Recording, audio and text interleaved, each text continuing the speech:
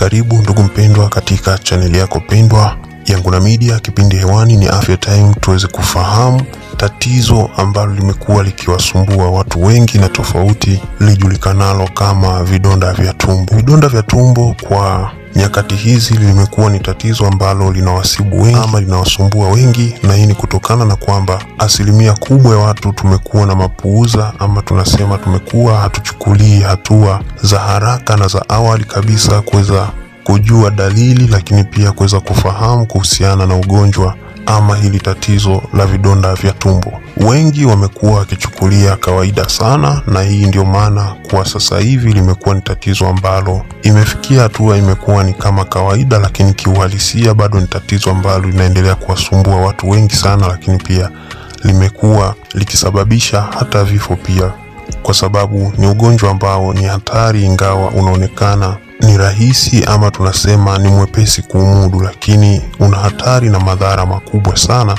pindi ambapo utaendelea kumuathiri mgonjwa, lakini pia pindi ambapo mgonjwa naye hatozingatia taratibu za kiafya na kuhakikisha kwamba anaondokana na tatizo kama hili. Vidonda vya tumbo vinatokana na sababu moja kubwa sana ambayo inahusiana na ukuta wa utumbo ama tumbo kuweza kuathirika ama tunasema kutunga vidonda ambavyo inatokana na sababu tofauti. Sababu kubwa inaweza ikawa ni asidi ambayo inazalishwa katika hali ya kuweza kumeng'enya chakula, ikautafuna utumbo ama ikatafuna kuta za tumbo na kusababisha vidonda. Lakini pia sababu nyingine kubwa inaweza ikawa ni bakteria ambaye anaweza akanyweka katika maji ama katika chakula ambacho kinakuwa kimechanganyikana na bakteria huyu ambaye kitaalamu anajulikana kama Helicobacter pylori, ambaye huyu bakteria naye anakuwa ni sababu ama tunasema anakuwa ni chanzo cha tatizo hili la ugonjwa wa vidonda vya tumbo.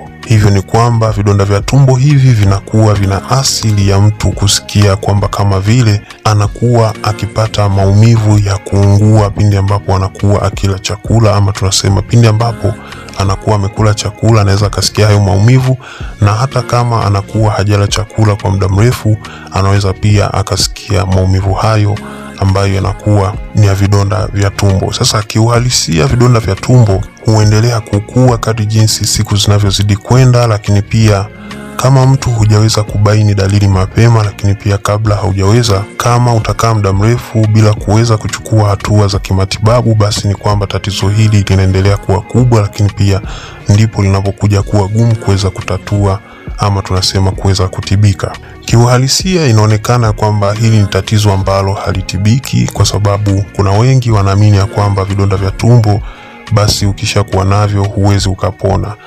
Inakuwa ni ngumu kupona pale ambapo unakuwa umeshachelewa na vimeshakuwa chronic, ama tunasema vimeshakuwa ni vikubwa kiasi ambacho hata kama dawa itakuwa inaendelea kutumika, ni kwamba bado tatizo hili litaendelea kusambaa, ama tunasema linaendelea kuwa kubwa, kutokana na kwamba huyu mtu bado ataendelea kula, lakini pia bado kuna hizi asidi ambazo zinakuwa ni, ni kali zinakuwa zinaendelea kukuza tatizo hili, ama tunasema zinakuwa zinaendelea kuongeza tatizo hili na kuendelea kusambaa na kukua kwa kasi. Lakini kama ukichukua hatua za awali, ama tunasema ukiwahi pindi ambapo vidonda ama dalili unakuwa umeziona kwamba kuna dalili moja mbili tatu zimeanza kuashiria kwamba kuna vidonda vya tumbo, basi moja kwa moja unaweza ukapata tiba na ukapona na ukawa vizuri kabisa na ukaendelea na maisha. Lakini pindi ambapo unapuuzia na kuona ni jambo ambalo sio la kufuatilia sana, hapo ndipo inapokuja kuwa ni tatizo kubwa, lakini pia linakuwa linawasumbua wengi. Asilimia kubwa sasa hivi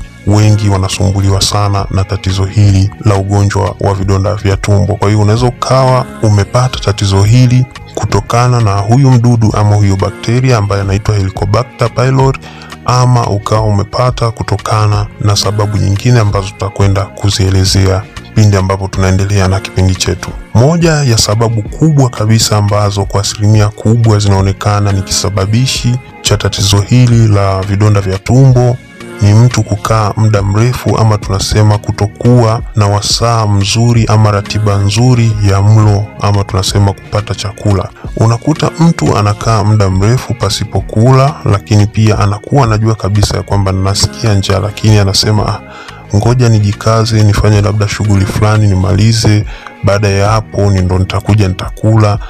Muda mwingine hii nayo inakuwa ni sababu ama tunasema hili ni jambo ambalo linapelekea kuna muda ambao unafika mfumo wa tumbo kwa jinsi ambavyo umeumbwa ama kwa jinsi ambavyo umetengenezwa na Mwenyezi Mungu ni kwamba unatoa kemikali ambazo zinakuwa ni kwa ajili ya kuweza kurahisisha chakula ama tunasema kumeng'enya chakula, lakini kwa bahati mbaya chakula kinakuwa kimekosekana. Hivyo hii inapelekea sana asidi ile kuweza kutafuna tumbo lenyewe ama tunasema ukuta wa tumbo, lakini pia na utumbo pindi ambapo chakula kinakuwa kimekosekana kwa wakati huo. Kwa hiyo hii asidi kikawaida huwa inamwagwa ndani ya tumbo baada ya muda fulani ama baada ya masaa kadhaa. Hivyo unapochelewa kuweza kula ama kupata chakula unasababisha janga hili kuweza kutokea ama tatizo hili kuweza kutokea. Kwa hiyo kuna mwingine unakuta sio kwamba chakula kipo, anafata ratiba nyingine anaachana anapuuzia hata, hata swala la kula, anaona ya kwamba ni jambo ambalo naweza nikala hata baadaye, lakini kiuhalisia unakuta njaa inamuuma, anasema kwamba ngoja nijikaze, ama sijisikii kula ama sijisikii hamu. Hii inakuwa ni tatizo mojawapo, lakini pia sababu nyingine inakuwa ni kula chakula ambacho kimetokana ama tunasema kimeshachanganyikana na mdudu huyu ambaye anaitwa Helicobacter pylori, ambaye yeye akishaingia katika mfumo wa mwili na kuingia maeneo ya tumboni na utumbo, moja kwa moja yeye anakwenda kutafuna zile kuta za utumbo ama za tumbo na kusababisha vidonda hivi kuweza kujitokeza. Kwa hiyo pia huyu mdudu naye anaweza akawa ni sababu, lakini kama sababu inakuwa ni huyu mdudu, basi ni rahisi kuweza kutibu hili tatizo, lakini pia inawezekana kabisa kuweza kutibu kama chanzo inakuwa ni mdudu huyu.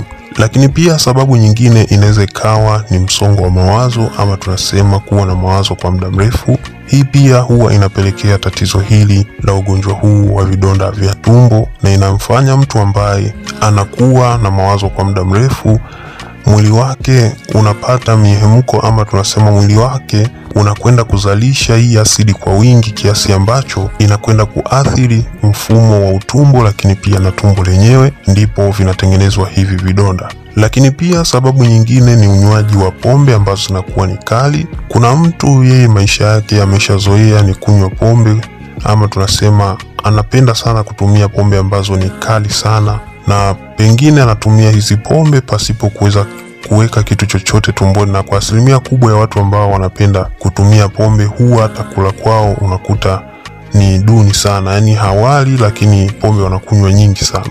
Sasa hii inapelekea pia tatizo la vidonda vya tumbo, kwa sababu pombe nyingine unakuta ni kali, zinakwenda kuchimba ama tunasema zinakwenda kuathiri mfumo ambao unakuwa upo katika kuta za tumbo na kuta za utumbo, hivyo inakwenda kutengeneza vidonda ambavyo vinakuwa vimetokana na makali yatokanayo na pombe hizo. Lakini pia sababu nyingine ni matumizi ya sigara, hivyo kutokana na uvutaji wa sigara inapelekea kemikali hii kuweza kuzalishwa kwa wingi na kupelekea matatizo hayo katika mfumo wa tumbo ama tunasema mfumo ule wa utumbo. Wakati mwingine pia inaweza ikawa ni sababu ya kukosekana kwa uteute ama tunasema kwa maji ya kutosha, hivyo unakuta mtu anakula vitu vikavu ama tunasema hanywi maji ya kutosha, ama pengine mfumo wake wa utumbo unakuwa umekosa kilainishi ama tunasema uteute unakuwa umeisha katika kuta za tumbo na utumbo. Hii pia inaweza ikapelekea tatizo hili la vidonda vya tumbo. Ina maana ukuta wa tumbo ama tunasema ule ukuta wa utumbo unakuwa ukikwaruzana ama tunasema ukitengeneza michubuko ambayo inatokana na chakula ambacho mtu anakuwa amekula. Kwa hiyo ndio maana unashauriwa sana pindi ambapo utakuwa unasumbuliwa na tatizo hili, utumie vyakula ambavyo vinakuwa ni vya kuongeza uteute katika kuta za tumbo pamoja na utumbo. Inaweza ikawa ni bamia ama mboga mboga tofauti za majani. Hii pia itakusaidia kuweza kupunguza ukubwa wa tatizo hili. Hivyo kwa sababu tumeweza kufahamu baadhi ya sababu, tuweze kufahamu ni jinsi gani ambavyo unaweza ukaepuka tatizo hili la vidonda vya tumbo, ama unaweza ukazuia kama unakuwa tayari umekwisha salimika, ama ukapunguza pia kama tayari unakuwa umepata vidonda hivi vya tumbo.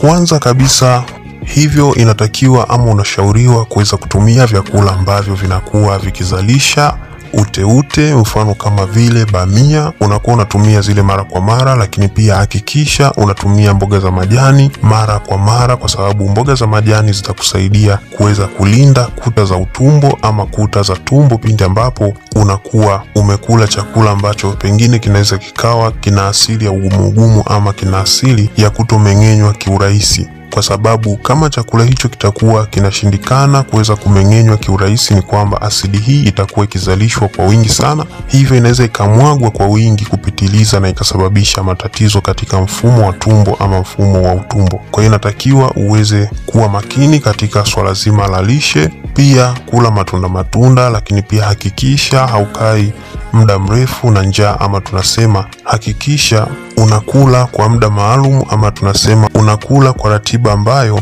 inakuwa ni sahihi kwa usalama wa mfumo huu wa umeng'enyaji wa chakula. Lakini pia epuka matumizi ya madawa ambayo yanakuwa ni kwa ajili ya kupunguzia maumivu, kwa sababu kuna baadhi ya dawa ambazo zinakuwa na kemikali ambayo moja kwa moja inakwenda kuharibu, ama tunasema kemikali hiyo inakwenda kuathiri mfumo wa kuta za tumbo ama za utumbo. Kwa hiyo inatakiwa uweze kuwa makini zaidi na matumizi ya dawa hizi za kupunguzia maumivu ama, ama tunasema za kutuliza maumivu. Kuna mwingine unakuta anakunywa dawa, anajua kabisa sijala chochote, sijaweka chochote tumboni, anatumia hizi dawa, lakini mwisho wa siku zinakwenda kumletea matatizo pia kama haya, kwa sababu anakuwa hajazingatia vizuri utaalamu ama tunasema matumizi ya dawa hizo kutokana na utaalamu wa kidaktari ama kitabibu. Kwa hiyo pia dawa hizi zinaweza zikawa ni sababu ya kupelekea tatizo hili pia la vidonda vya tumbo. Kwa hiyo inatakiwa kuwa nazo makini, mfano kama vile dawa kama aspirin na dawa, na dawa nyingine ambazo zinakuwa ni kwa ajili ya kutulizia maumivu. Kwa hiyo inatakiwa uweze kuwa makini sana katika suala zima la kutumia dawa.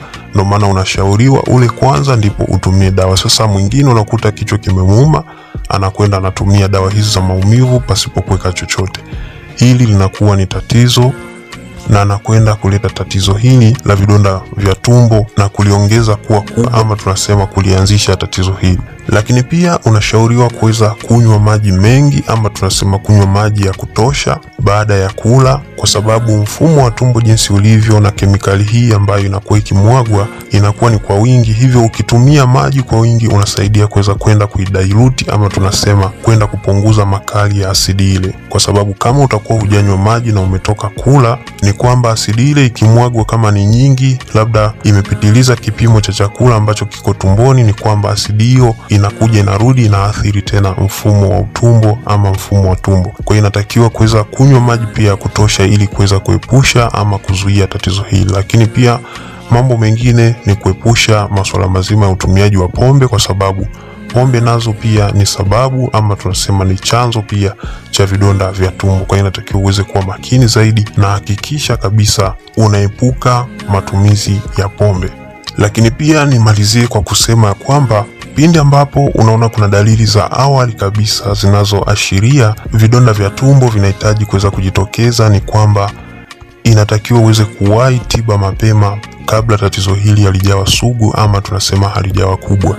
Na moja ya dalili ambazo utaanza kuziona ni kwamba tumbo linajaa gesi, lakini licha ya hivyo, ukila ama kabla ujala unasikia maumivu ambayo yanakuwa kama vile mtu anakuunguza, ama tunasema kama kuna kitu kinakuchoma ndani ya tumbo ama kwenye utumbo. Wewe utasikia maumivu ndani ya tumbo, lakini pia muda mwingine unapata choo ambacho kinakuwa na rangi ya kaki, ama choo hicho kinaweza kikawa ni cheusi kupitiliza, ama licha hivyo choo hicho kinaambatana na damu. Kwa hiyo utambua kwamba moja kwa moja ni tatizo hilo limeanza kujitokeza. Lakini licha hivyo, dalili nyingine ni kama vile kiungulia ambacho kinakuwa moja kwa moja kinakwenda kugonga katika mazingira yale ya chembe ya moyo.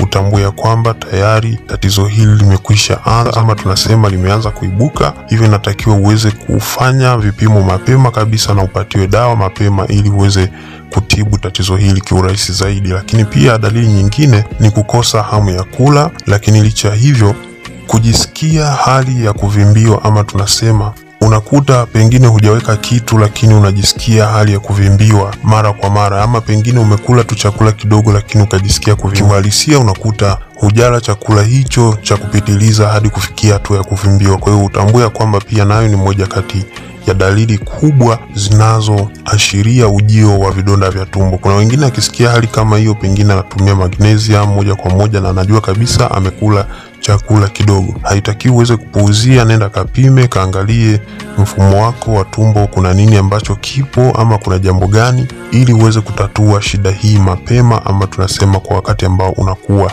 ni mwafaka kabisa. Lakini pia inatakiwa uweze kuhakikisha kila wakati ama kila mara unatibu minyoo ama tunasema unazuia minyoo kuweza kujitokeza. Kwa hiyo hii ni kupitia usafi wa mikono. Pindi ambapo unakuwa umetoka haja, basi hakikisha unanawa mikono yako vizuri kabisa kabla haujashika vitu vingine, mfano kama vile chakula na vitu kama na vitu ambavyo vinatumiwa katika mazingira yale ya chakula ama yanahusisha mazingira yale ya kwenda mdomoni, basi hakikisha unanawa mikono yako kwa sabuni na unaosha kwa uzuri kabisa, ili pia kuweza kumzuia hata huyu bakteria ambaye anaitwa Helicobacter pylori uweze kumzuia, lakini pia uweze kumdhibiti mapema kabla hujamuingiza katika mfumo wako wa mwili, kwa sababu kwa sababu vidonda vingine vya tumbo vinatokana na huyu bakteria, sio vyote ambavyo vinakuwa ni vya njaa ama mawazo hivyo jitahidi kuweza kuhakikisha usalama pia katika mazingira hayo ya kunawa vizuri mikono, kwani ana lengo la kuzuia na minyoo pia, kwa sababu hata minyoo nayo inaweza ikawa ni sababu ya wewe kupata vidonda vya tumbo, hasa pale inapokuwa imezidi.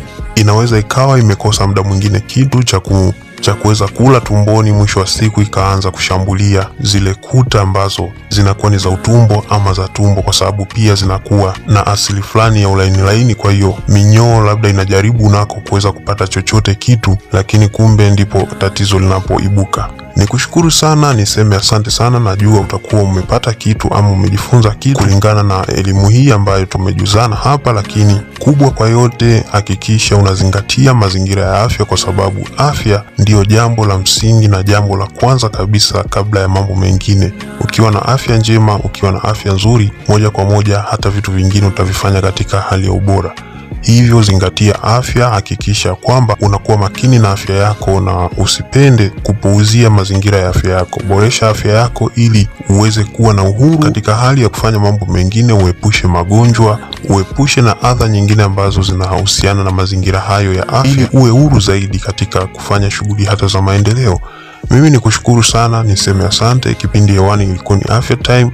Unaweza ukabinya subscribe button, unaweza ukashare, ukalike na comment, tuweze kutana katika kipindi kingine ambacho tutazungumzia matatizo mengine ya kiafya na mambo mengine ambayo yanawasibu watu, lakini wanakuwa wanashindwa pengine kujua sababu ni nini, ama vitu fulani fulani ambavyo wanaweza wakaepuka ama kutibu. Asante sana na bye bye, tukutane katika makala nyingine ya Afya Time.